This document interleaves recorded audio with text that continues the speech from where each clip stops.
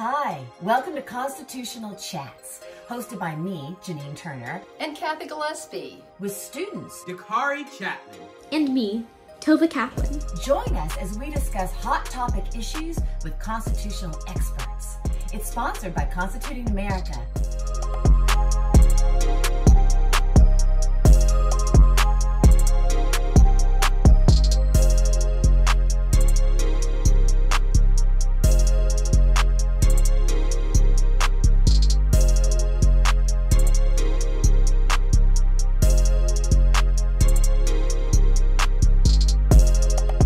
Welcome to Constitutional Chats, hosted by Janine Turner and me, Cathy Gillespie, along with Constituting America's student ambassadors Tova Kaplan and Dakare Chatman, where we talk about hot topic issues with constitutional experts. We want to start tonight by thanking our sponsor, who has asked to remain anonymous, but he wants us to be sure and let everybody know that he loves Constituting America's 90 day studies. And he encourages everyone to go on and check out our, our current 90 day study on important dates in American history. And if you'd like to sponsor a constitutional chat, just email me at Cathy, C A T H Y, at constitutingamerica.org. Now, we are very excited for tonight's topic of education and COVID 19. Our special guest is Elizabeth Schultz, who is the Fairfax County, Virginia School Board member emeritus. I'm going to introduce Elizabeth in a few minutes, but first I'm going to talk about the rest of the people on our panel. Janine Turner cannot be with us tonight, but we want to say a few words about Janine because she's our founder and co president. Janine is famous for her role as Maggie O'Connell in television's Northern Exposure. She, as I said, is the founder and co-president of Constituting America, which launched in 2010.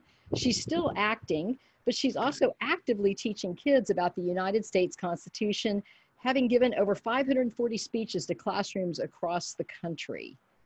Now, we are very excited to have with us tonight Jay McConville on our board. Jay is a management professional and active civic volunteer. He was recently accepted into the doctoral program at the Douglas Wilder School of Government and Public Affairs, where he's pursuing a PhD in public policy and administration. And prior to beginning his doctoral studies, he was the founder and owner of Emerald Collaborative Partners, LLC, a management consultancy focused on aerospace and the defense industry. And over his 26 year business career, Jay has held multiple key positions including director, vice president, and CEO with several leading aerospace firms. Now, Jay is also a veteran, and Jay, we thank you for your service to our country. Jay served as a U.S. Army intelligence officer in multiple positions around the world, including the 1st Cavalry Division during Desert Storm, Desert Shield, and Desert Storm. Throughout his career, Jay's been very active in many civic and industry volunteer associations as I mentioned earlier, we are very blessed to have Jay as a member of our Constituting America Board of Directors. He has a Bachelor of Arts from George Mason University and a Master of Science in Strategic Intelligence from the Defense Intelligence College. He lives in Richmond, Virginia with his wife of 35 years, my good friend, Sue McConville. They have three wonderful children and one granddaughter. So, Jay, we are so excited to have you with us tonight. Now, also, on our panel, we have two wonderful students. Tova Love Kaplan is 16 years old and lives in Chicago, Illinois. Tova currently serves as our National Youth Director for Constituting America and runs the National Youth Advisory Council. She's a three-time winner of the We the Future contest and the entrepreneurial, where she created a marketing plan, PSA entitled Know Your Rights, Read the Constitution, and STEM, where she created an app and is currently getting that app ready to launch on major app platforms for Constituting America. Tova is passionate about educating and empowering young people to use their constitutional rights, and we are blessed to have Tova's leadership as National Youth Director. Thanks, Cathy. Um, I'm so excited to be here. Thank you all so much for joining us, and I hope you all enjoy the show. We also have with us tonight Dakare Chatman, who's our Constituting America Student Ambassador. Dakare is 17 years old, is currently a junior full-time college student in South Carolina. He's won Constituting America's We the Future contest twice, once for his best PSA, where he reminded viewers the Constitution is an American thing, so know it, and twice for his short film Man on the Street. He is actively involved in our National Youth Advisory Board. Now, Dakare is also a working actor, seen most recently in HBO's The Righteous Gemstones and Netflix Outer Banks, just out three months ago. Dakare wishes to be an actor, but also a politician. But he says you must be an actor to be a politician. Hello, everyone. So glad that you guys have joined us. Uh, thank you, Mr. Jay, for filling in for Janine on her night off. And we sure do miss her, but we're glad you're here. And thank you for your service, sir. And thank you, Cathy and Jeanette. Jeanette is a retired teacher from former uh, and former PTA president. She's our director of operations. Jeanette organizes all of our school presentations and many other aspects of constituting America, and she does a fabulous job. Jeanette, you want to say hello real quick? Hi, everyone. Thank you so much for joining us this evening on this extremely important topic of education and what's happening in the world in COVID 19. Teachers, parents, students, we're here to help you at Constituting America.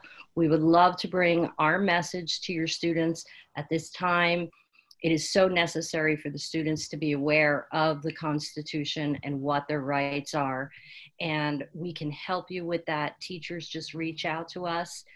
Parents, let reach out to us and connect us with your teachers and your school administrators, Jeanette at constitutingamerica.org, or just go to select a speech on our website. And thank you so much again for joining us. Our very special guest tonight is Elizabeth Schultz, who's a former Fairfax County School Board member. Mrs. Schultz is an education and public policy expert and former professional senior contracts and negotiation manager with 25 years of experience in organizations specializing in the areas of asset management, information technology, global and K 12 education. Mrs. Schultz was twice elected to the Fairfax County School Board, the nation's 10th largest school system. While serving a decade in combined elected service plus public advocacy, Elizabeth has strived to act as a voice of reason and common sense decision making. Elizabeth holds a BS in political science and history from James Madison University and is married and has three children. Elizabeth, welcome and thank you so much for being with us tonight. We are so excited to have you. And we wanted to start with just asking you to make a few opening comments. Well, I don't know which of my children I left off the bio, but I do have four boys.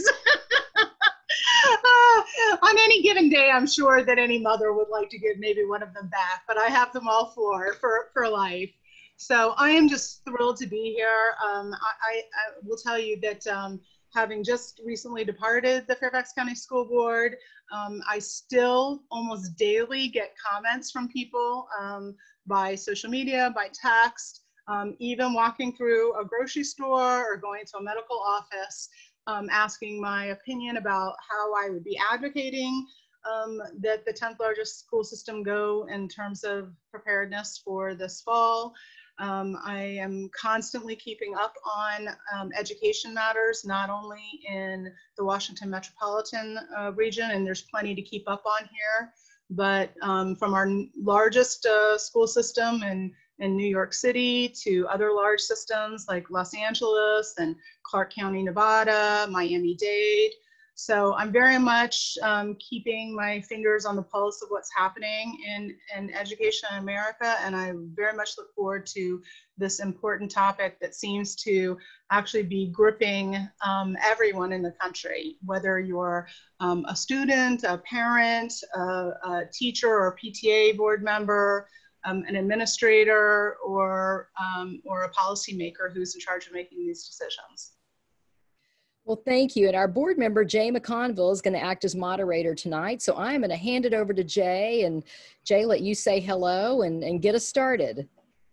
Well, thank you, Cathy, and thank you everyone for being on tonight. It's really great to be here with you. I enjoy these chats from afar and uh, get a question in every now and then, so it's great to be able to be on with you all and, and participate in the main discussion. And Elizabeth, it's great to see you again. Uh, for those who don't know, Elizabeth and I know each other from Fairfax County, Virginia, where we, we work together. And uh, when I remember when she was elected the first time to the school board, and it, it was really great to watch all the great service that you gave and the selfish way, selfless way that you gave yourself to the children of, uh, of that district, and, and which included my kids, by the way. Uh, so thank you for that. Uh, I wanted to start off with the, with the top level question. And when it comes down to education, basically it's about the children. So, uh, you know, there's many different options that have been put on the table about how children uh, can return to school or not. And so I would like maybe if you could start off just by talking about some of the factors that are most interesting to you. And I, as you said, you talk to other parents on the impact on the children of either going back to school or not going back to school or different combinations between. What do we need to be aware of that uh, they, and watch as these kids go through this unprecedented situation? Certainly, I, and I will tell you that um, in the last probably two to three weeks, as some of the decision makers in different school boards across the country um, grapple with, you know, what what comes next um, you see really some of the largest school districts in the nation sort of leading the way. There are um, thir- over 13,500 school districts in the nation. There are not about 90,000 school board members.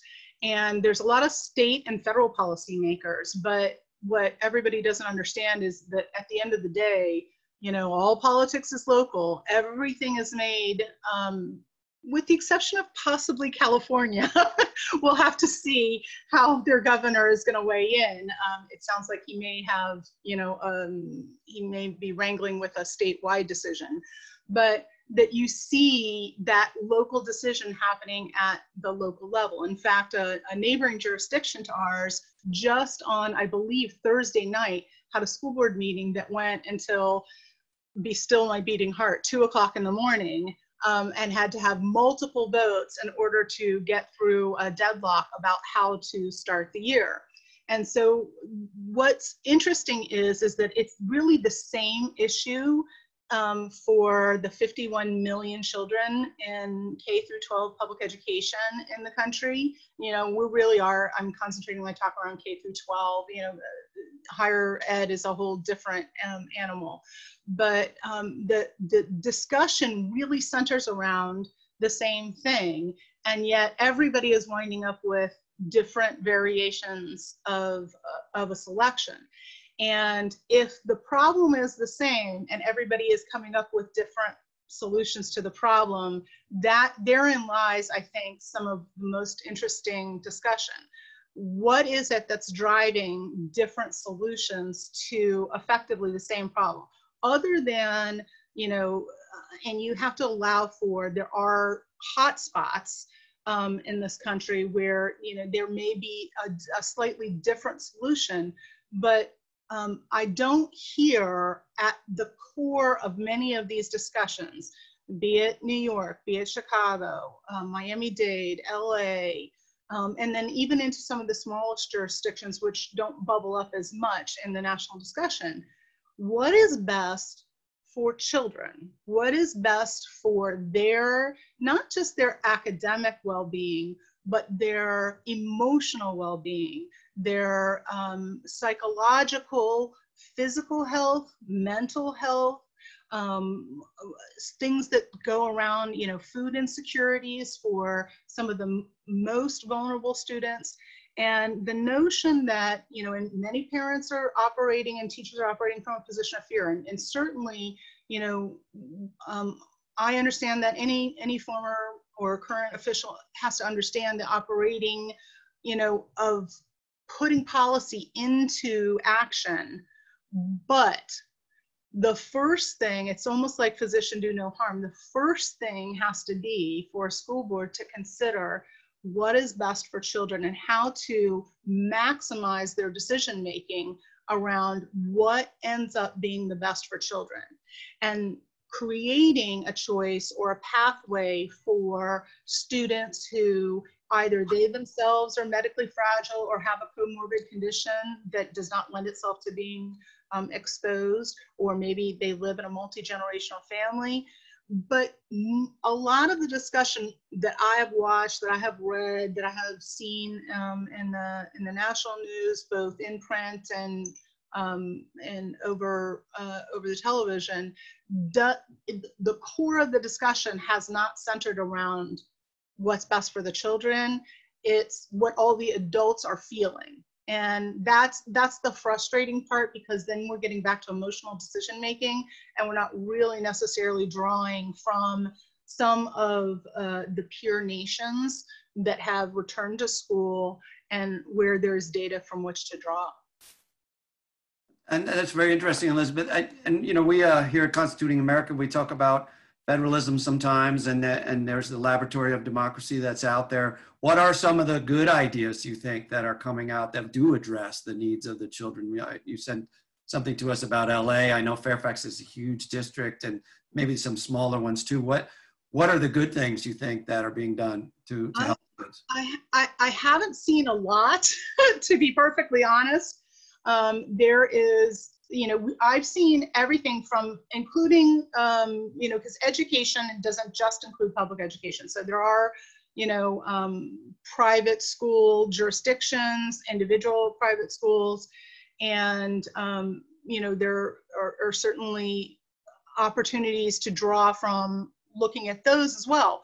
And what I find interesting is, is that a lot of the private um, school systems or individual um, standalone schools are actually electing to go back full time. And when we juxtapose that against what's happening in the public school system, I've seen choices that vary from um, there's not going to be any school until at least January. You know, some of those decisions have been made. There's not going to be any school, you know, you know, no in-person school. There's only going to be digital school available until the end of the first quarter. The, um, they're still deciding. There are some school districts that still have not decided that are, seem to be watching some of the larger school districts you know, and drawing from them some sense of, okay, well, if they can do it, then we can do it. Then there are these hybrid models that seem to be ga gaining some ground in some jurisdictions, including Fairfax, where some children based on your last name are going to go to school two days a week you know tuesdays and thursdays a through k and l through z go you know wednesdays and fridays and nobody goes to school on mondays. And what i don't hear and again in any of those plans are particularly addressing some of you know the vulnerable populations um, and that includes uh, populations that are vulnerable from you know a food perspective that are vulnerable certainly from special education. That's one of my, you know, I was a great champion and still am of, uh, of parents and students in the special education um, arena. And, you know, for example, in Fairfax County, there's about 14 and a half to 15,000 students who are special education. That's larger than many school districts in the entire country. And so what happens to those students who normally we're receiving in-classroom supports um, daily or pull-out supports and, and reinforcement. And we're already, so many of these children are so far behind academically from losses that occurred this spring. You know, many schools closed in March.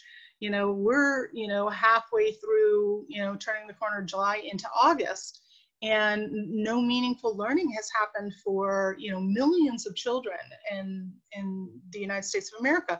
So when does that ever get made up? And if you already start behind the eight ball coming into the fall either delaying the opening of the school um, year and or combining that with reduced days um, in the classroom many, many, many children cannot optimize learning through, uh, through a computer screen. The ability to sit for hours a day, even an hour, and, and meaningfully learn and have um, uh, simultaneous learning happening through a computer, um, we're, we're really not addressing the academic impact. And then beyond that, you know, I had, um, I've had medical professionals just in the last week tell me that um, either their patient load is tremendous in terms of the impacts that they're seeing on, on young patients, um, all kinds of, of medical and mental wellness issues um, cropping up. But then also, what happens for parents who, who need to return to work and support their family, whether it's single parent household, a dual uh, working household, that there is a real struggle about the need to restore some normalcy and what that does for young minds and what this is going to do long term, that there are going to be long term implications um, medical professionals fear from this period where we're we have you know a very traumatic thing happen in our country, but certainly in a young person's life that is so traumatic being ripped from their their their teachers, from their friends, from you know social interactions, all the things that are lost that we're not going to know for a long time. Thank you. You know, somebody I was blessed to be able to work through the whole thing and but I've been on Zoom, you know, all day long and I, I can attest that's not the optimal environment for interpersonal communication. I have a lot of more questions, but I'm not going to hog it up. I'm going to uh, turn over to uh, Tova. And uh, Tova, I'm sure you have some questions on your mind. Why don't you take it for a bit there? Yes, thank you so much. Um, thank you for having this discussion. I'm actually a Chicago Public School student, um, which is obviously one of the biggest school districts in the country. So I've really been uh, as all students have been like listening and following the news very closely. Um, in Chicago, they actually just announced their plan, which is primarily online learning with uh, K through 10th grade coming in two days a week. I just graduated 10th grade and I'm in 11th grade, so I just missed the cutoff to be able to have in-person school. That's a whole nother discussion, but um, so it, it seems like at least in Chicago and most likely in other school districts, online learning is going to be most, if not a, a large portion of you know learning for students in the upcoming year. Um, I experienced online learning in Chicago starting in March. So I had a large kind of experiment with it. And needless to say, it did not go well. Um, within Chicago, four out of 10 Chicago public school student students were engaged less than two days a week. Um, and that was, you know, uh, you know, so many students were falling through the cracks. They say um, half of high school students weren't engaging um, every week. Uh, it was hard to contact students, as you mentioned, with inequities. In Chicago, there are a lot of homeless students, students without access to internet, without access to food. Um, so that is those inequities are compounding. But my question is, since online learning is going to play such a big role in schools, um, how can we improve the system? Because at least in my experience, teaching skills did not transfer over well to online platforms. Students were not engaged. Um, they weren't learning a lot. Teachers seemed to be really struggling with the transition. Um, so how do you think that as, as a former teacher, how can teachers adapt more and really improve this platform to keep students engaged as we try to adapt to the situation?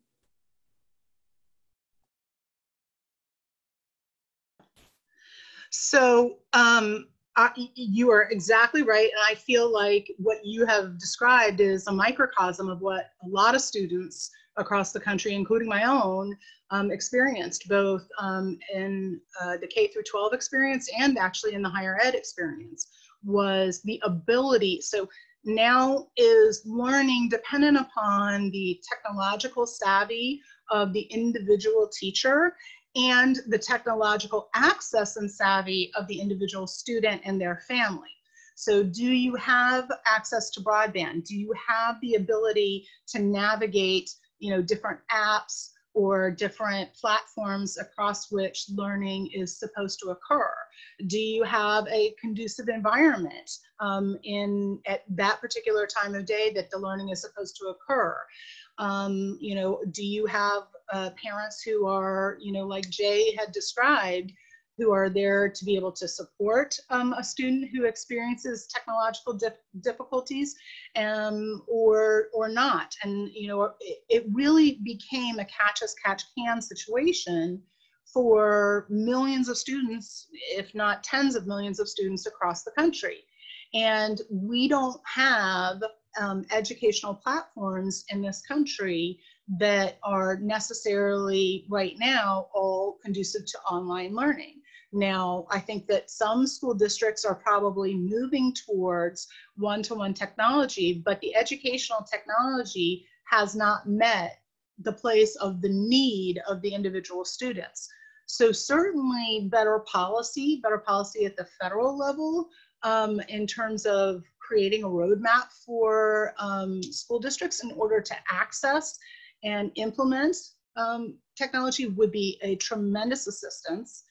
In addition to that, you know, state governments have to fund it. Um, you know, whether the individual school districts get their funding from the state, which many do. A lot get it from federals. A very few, like the one that um, I'm in and where I served, almost all of the money is local. But then it becomes how do we apply that money and support not just the acquisition of the technology to support the students, but the curriculum, the online curriculum that supports it, because I think that education is going to change going forward. I think you're going to see a lot more of student access um, if we can get this right.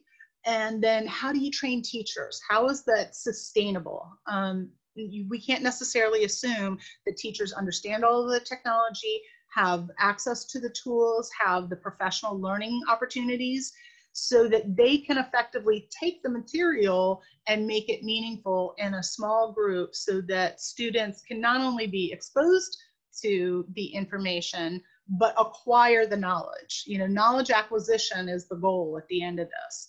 And so it's very complex having 13 and a half thousand school districts in the country and all of those decisions largely being made local, but then the money coming from lots of different places and not a cohesive policy. So that's a great question. I'm going to go to Dakare in a second, but let me just follow briefly on that. Does it complicate the situation when you have school districts like I think has been announced in Fairfax, where you're going to have this split situation where you have some kids are at home, I guess they're on Zoom or something equivalent, and then the other ones are in the classroom.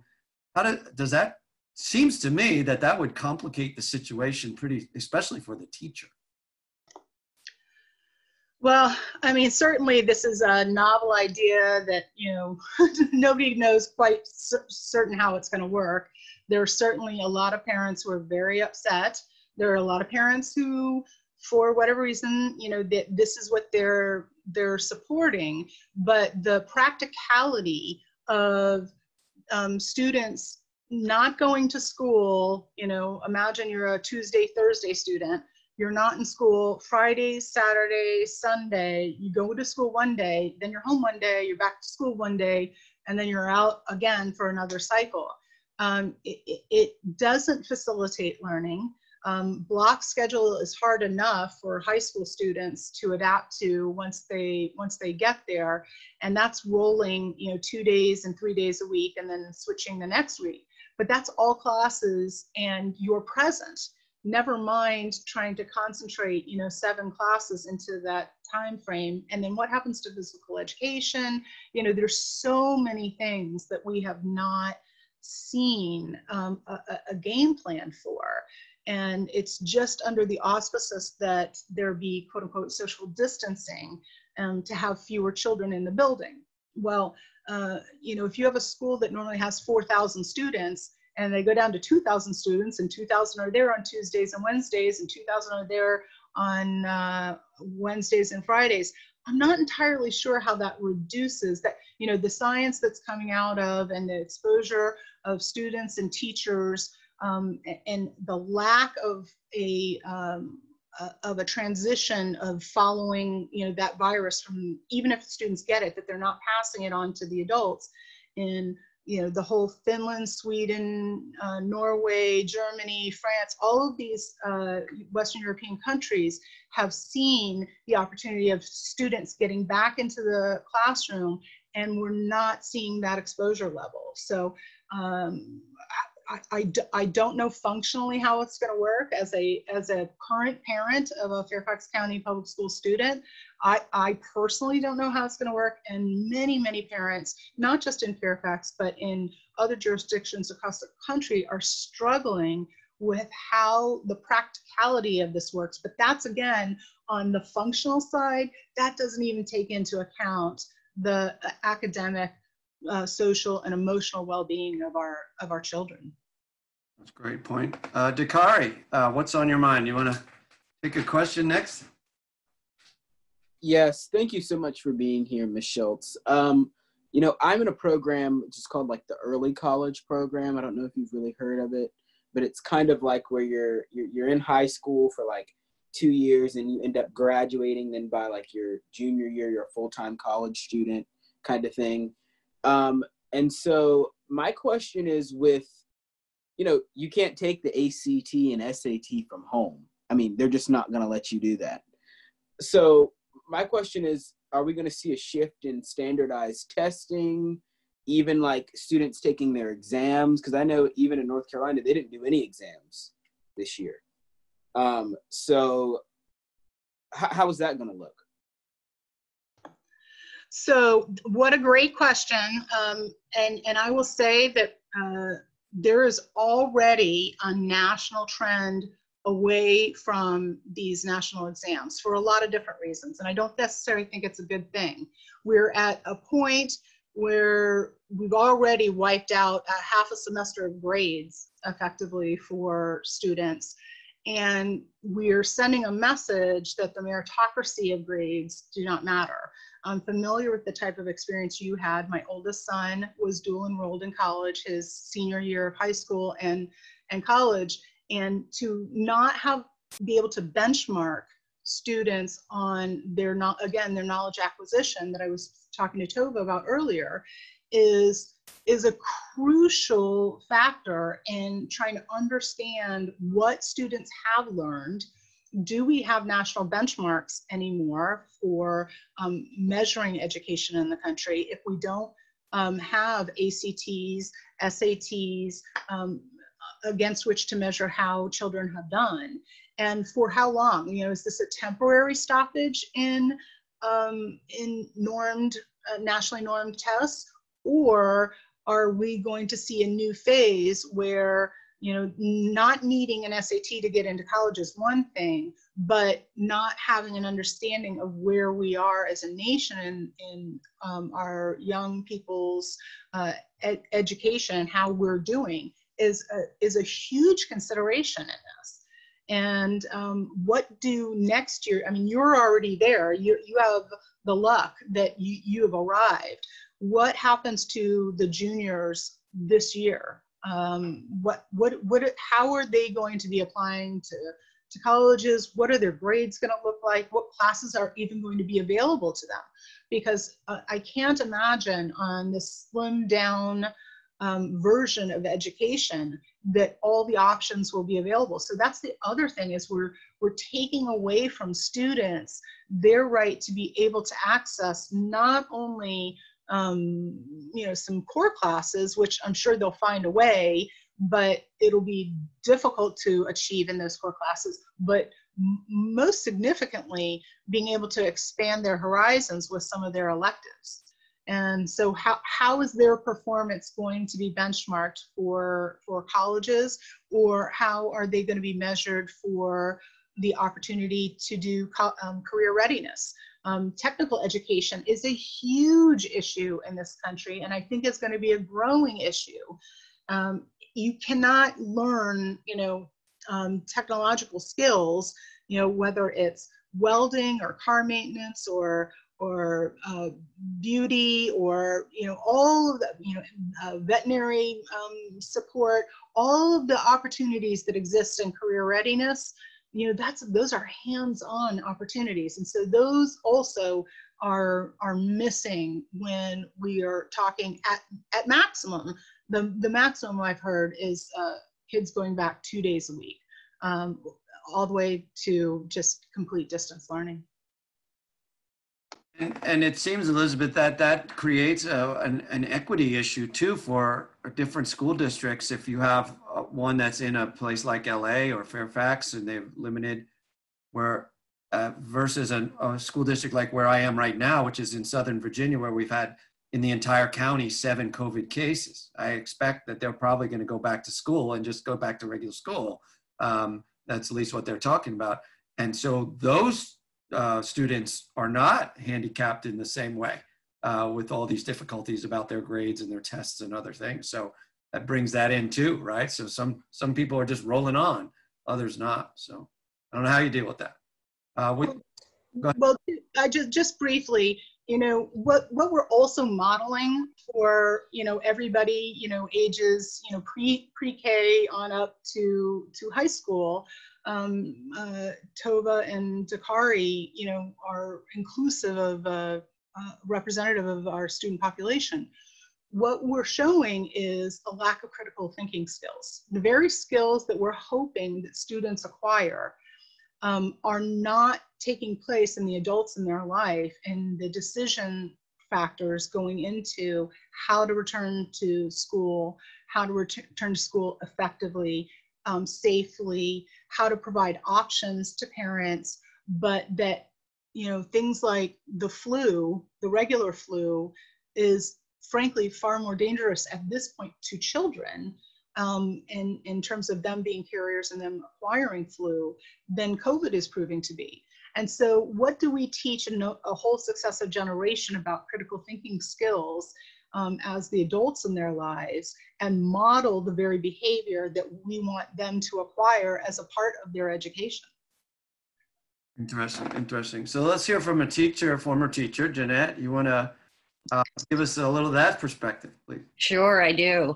Um, one of the things I, I want to say to all my fellow teachers is I totally understand the fear and anxiety, but you know we have that every day when we walk into a classroom, whether it's going to be the latest outbreak of lice or, God forbid, a gun, you know, a school shooter.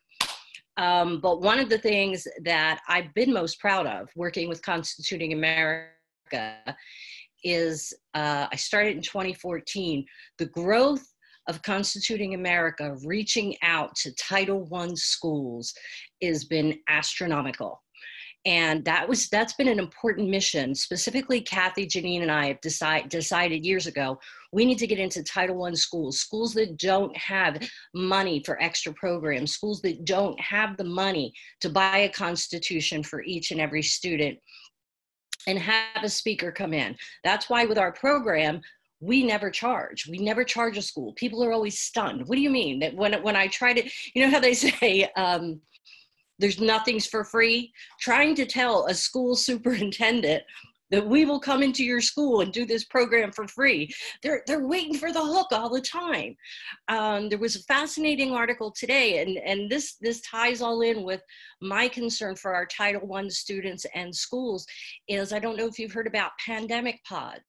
We're seeing across the country clusters of parents that are able to afford to hire teachers and they're creating virtual 2020 one 20, 2020 school uh, one one room schoolhouses where public schools is our great equalizer.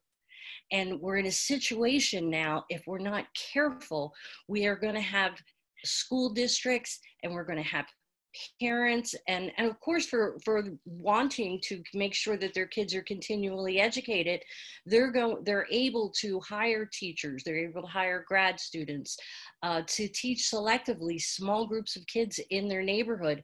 And that really makes me nervous. It makes me nervous for all of the students that when we do go back we're going to we've lost the balance that we've tried to achieve in our public schools. And so i think if perhaps we get this awareness out there that it's not about us like you said elizabeth in the beginning it is about our students and bringing this to their students. So if all of you can go to your school board meetings and, and discuss this and, and bring this up and say, we need to get back in there and help the kids and teach the kids. And meanwhile, we know this great program that they'll come to your school for free. Give all your kids a constitution and teach them about it. So that was my two cents. It's not necessarily a question, but it is a concern as as an educator as a parent and a taxpayer that our our students um, remain equal, equally educated, equal educational opportunities across the country. And if we're not careful, we're going to create a great imbalance. And I think, Jeanette, I think Tova wanted to jump in on that. Uh, yeah, before Elizabeth, you go ahead. Um, yeah, I just, uh, to your point about equity in Chicago, the private schools are planning on opening. Um, much, much more than the public schools. As of now, some private schools are planning to be fully open. Others are, you know, they're all planning on being more open than Chicago public schools. I know friends of mine who are upper socioeconomic levels are saying, okay, I'm going to go to private school now. Bye, guys. Like, they're just, they have those resources to be able to easily switch without even a second thought. Whereas I have other friends who are struggling to even afford food now that they can't get food at school friends who don't have reliable Wi-Fi and they're trying to figure out if they can even get any level of schooling at all in the upcoming year. Um, so I, I like that you brought that up because it is a really, really big problem that I'm worried that students are going to fall behind, not because they're less motivated, not because they don't have those same skills as their wealthier, more well-connected peers, but simply because they don't have those resources because of matters that are totally out of their control so I think that's um, really interesting to note, um, especially as we see the differences in strategy between public and more expensive private schools. It'll just be a really interesting development to track. Elizabeth, what do you think about that? Is there anything good, good news on that, uh, trying to address especially kids who don't have the resources? Um, I'm going to tell you that Jeanette hit it um, spot on. Um, that is an incredible concern um, in the decisions that are being made at this point, the students who have the most means or the most um, opportunity um, to their families um, within their community are going to find a way to get um, educated or at least better educated than the, their surrounding school district allows. I just heard a uh, extended conversation yesterday uh, um, from a woman in um, in the surrounding area of LA, for example, and the parents are doing exactly what Jeanette um, said, but they, they themselves have uh, garnered amongst themselves who has what skills and former teachers and everybody is, is banding together and they are creating a school and they have said, you know, we're giving up on our public school system. And so you are going to see people who abandon public school and go to private school. You are going to see people um, homeschool at increasing increasing rates. You are going to see people create you know their own community school and they're going to educate who they want to educate.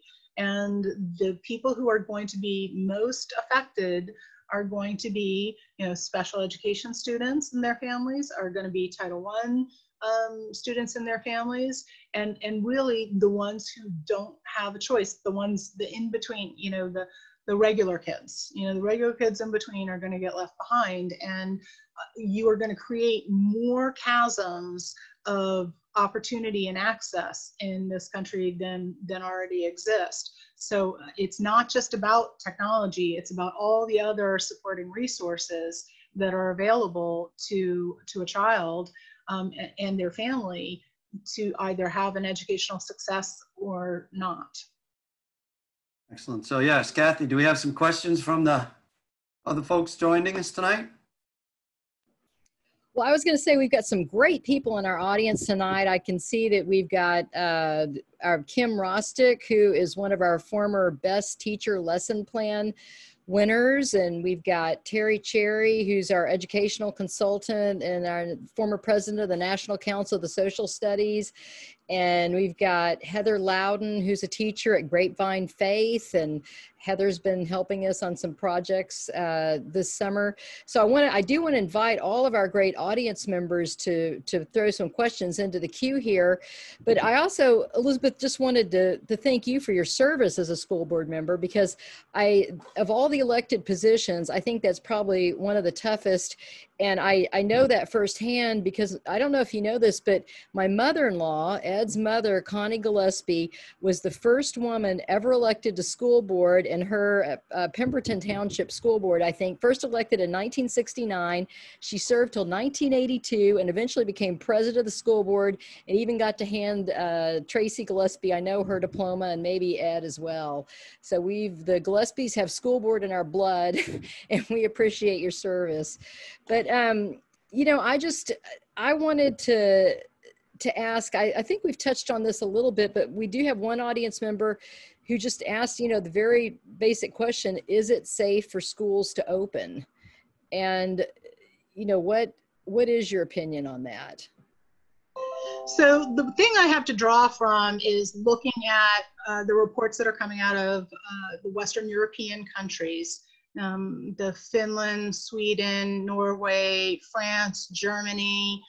There, there are real on the ground um, examples from which to draw, and the science there is showing, and we have everything from the American Pediatric Association and others from a medical standpoint, but the reality is is that when you put the students in the classroom they are showing that students are not you know they're not good ports for carrying this um, disease. Whether they get it is one thing but if they get it they're not passing it on. And so they're not getting sick. It doesn't mean no one's ever getting sick. Don't don't get don't get me wrong. But that is not a factory for producing and spreading COVID. And so if that isn't the case, then, you know, Jeanette brought up a perfect example. You know, we've had schools where we've had Legionnaire's disease, where we've had severe, you know, stomach flu outbreaks where you've had to close down half the school and clean it. We know, you know, educators and administrators know how to handle um, communicable diseases. It happens. And what what isn't, I think, a good answer is a one size fits all solution. Just because it happens, if there's an outbreak in one school, if one student gets it, to close down an entire jurisdiction, that's that's the lack of critical thinking. You know, I think that there's been plenty of ramp up time for preparedness, and schools can be prepared for an entry plan and also have backup plans that you know if somebody gets sick what do you do? Is it what if an adult gets sick? What if a child gets sick you know what what is the approach? And this is the time that they need to be spending generating those plans and getting them into operational play for those students to come back in the fall. And elizabeth there's been some back and forth. It gets a little political uh, about authorities right? So who does, does, does the local school board have 100% of the authority to just make this decision? Yeah, the reality is, is that um, school boards are, are the convening authority for the jurisdiction of their local, local schools. So yes, they make the decisions unless you know, there is some kind of an executive order by a governor, and the only one that I've heard threatening it is Gavin Newsom in, in in California. But the reality is, is that you you act, you really want that that authority local because those are the people that are the most accountable. Um, you lose accountability the further up it goes. Uh, but we certainly are looking at and pleading with the local jurisdictions to look at what's best for the kids and get the kids back, but have the contingency plans in place should there need to be an alternate. And then you can always create choice. You can give parents the choice. If they need to have a choice because of a child or a family member, or just because of you know an increased level of concern, give them the choice. That's that is the way that you best meet students where they are is creating the pathway to choice for the parents, but that you have the most liberal access in terms of opening schools for the greatest majority of the students possible. Cathy, are there others out there that we want to ask? I know, and I think Dakare, did you raise your hand? I want to come to you too. You know, so Cathy, uh, was there any on, online questions? If not, we'll go to Dakare. And you're muted. You're muted, Cathy. Let's make sure Dakare gets his question and then we'll go back to our queue in just a second. All right, Dakare.